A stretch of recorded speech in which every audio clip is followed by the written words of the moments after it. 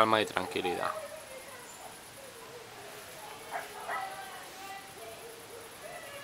Excepto por unos putos niños que están todo el día tocando los huevos.